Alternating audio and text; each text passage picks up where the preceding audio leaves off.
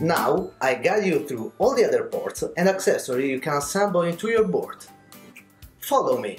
Here's what you need to use all the power and flexibility of UDOO X86. First of all, let's add the CPU fan. You need to plug it into the right connector, the one with the label fan. Then we need a screwdriver to screw it on top of the heatsink. The fan is automatically handled by the BIOS, where it's possible to choose its behavior. Moving on to the various connectors, we'll find the bricks. You'll connect them directly into the Intel Curie via its own cable.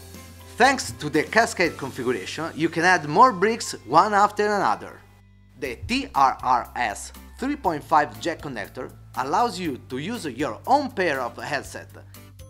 If you want to embed speaker into your case, you can plug them to the pre-amplified speaker connectors.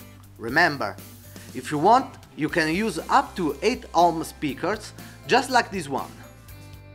What if you need to add more storage to your board?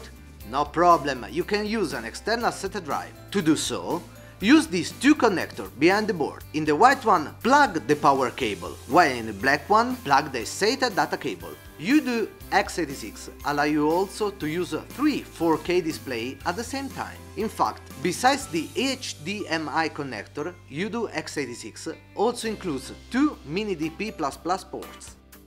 Also, if you want cable connection, you can use the Gigabit Ethernet port. Now, let's turn our board upside down. Here you can add a microSD with our favorite OS on it. Thanks to the Wi-Fi and Bluetooth 4.2 module, you can use any kind of external Bluetooth device, just like our awesome UDOO BLU. Here you find the IR port. With this little guy here, you can power on the board, and with this button you can master reset the Arduino inside. Thanks for watching and don't move, we have other surprises for you.